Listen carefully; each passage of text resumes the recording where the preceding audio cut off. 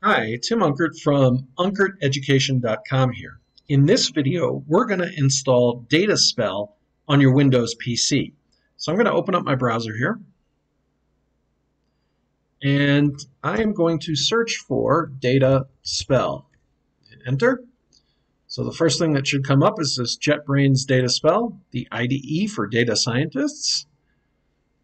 And we can download the .exe right from this page, which is jetbrains.com forward slash dataspell. I'm going to click download. Okay, once the executable for Dataspell is downloaded, it will be in your downloads folder. I am going to right click and open. After being prompted to make changes to your computer, the Dataspell setup wizard will pop up I'm going to click Next to continue. I'm going to keep the destination folder the one they recommend, and I'll click Next. And I'll uh, create a desktop shortcut here by checking this. I'll click Next. Uh, the startup menu folder I'll keep as JetBrains, and I'll click Install.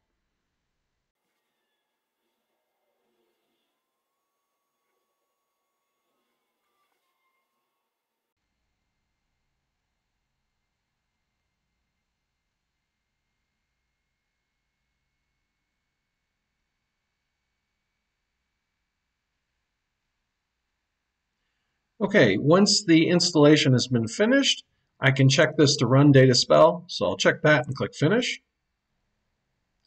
Since I've previously installed JetBrains products on this computer, it's going to ask me if I want to import my settings. I do not, so I'll keep this checked and click OK.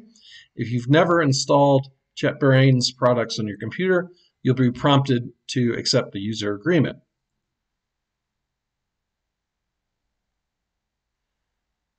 Okay, Dataspell uh, pops up and I can begin to configure my environment.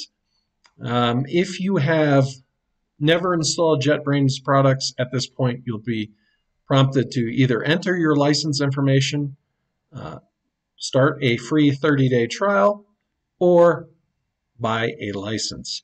If you like this video, please like and subscribe.